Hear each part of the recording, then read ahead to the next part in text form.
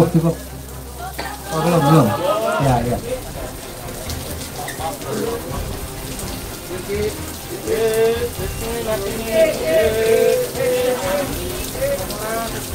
Oke ya, terima kasih ya. Oke.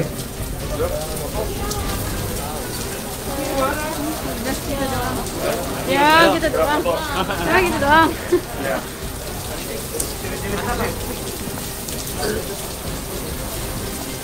Assalamualaikum warahmatullahi wabarakatuh.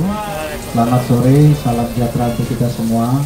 Yang hormati Pak Kapolres Metro Jakarta Selatan, Pak Wakapolres, Kasat Narkoba, Polres Metro Jakarta Selatan, dan teman-teman media semuanya. Sore hari ini rekan-rekan, ya kami akan menyampaikan eh, terkait dengan pengungkapan kasus penyalahgunaan narkotika, yaitu jenis ganja.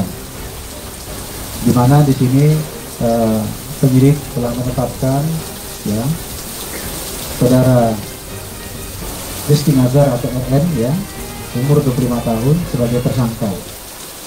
Yang bersangkutan diamankan pada tanggal 13 Desember 2021 kurang lebih pukul 20.30 di Jalan Munggang Kecamatan Keramat Jati Jakarta Timur.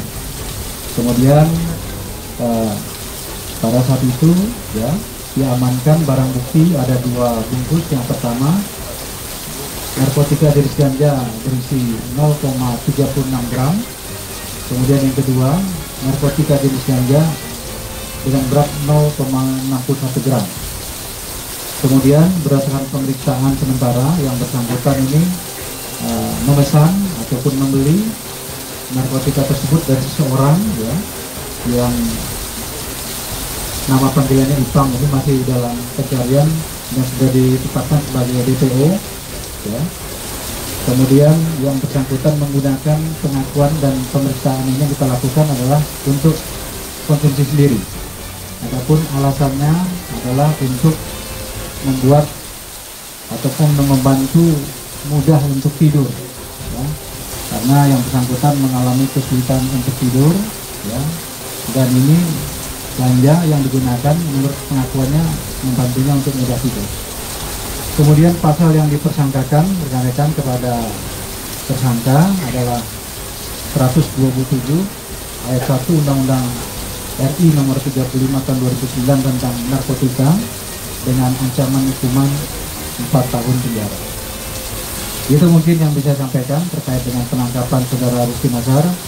Mungkin ada satu dua pertanyaan, saya persilakan. Pak Kabit, Pak Kabit, sudah berapa lama memakai Pak Kabit? Berapa lama Pak? Berapa lama pakai Pak Kabit? Ya, menurut pengakuan dan juga pemeriksaan yang dilakukan penyidik, ini baru ya, baru mengenal ganja ini ya sebelumnya tidak. Alasannya karena susah tidur katanya. Dengan menggunakan ganja ini membantunya untuk tidur, untuk mudah tidur. Yang lain? Cukup ya? Oke, kalau cukup ya, nanti yang lain kita tanya apa, doorstop dan sebagainya. Jadi untuk kasus ini sekarang eh, sedang ditangani tentunya oleh penyidik ini Pak Kasat Narkoba. Nanti rekan-rekan boleh tanya secara teknis ya. Kalau demikian rekan-rekan ya. Jadi ini untuk menjawab beberapa pertanyaan kemarin ya kita sudah hadirkan tersangka. Ya mudah-mudahan kejadian seperti ini tidak terulang lagi ya khususnya di kalangan generasi muda kita. Demikian saya akhiri. Wabillahi taufiq walhidayah. Wassalamualaikum warahmatullahi wabarakatuh.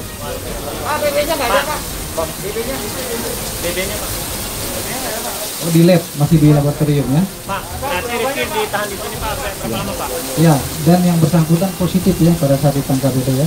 Oke ya, makasih ya.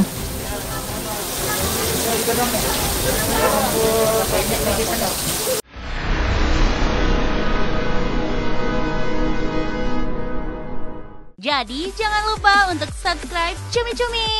Ditekan ya tombol lonceng merahnya.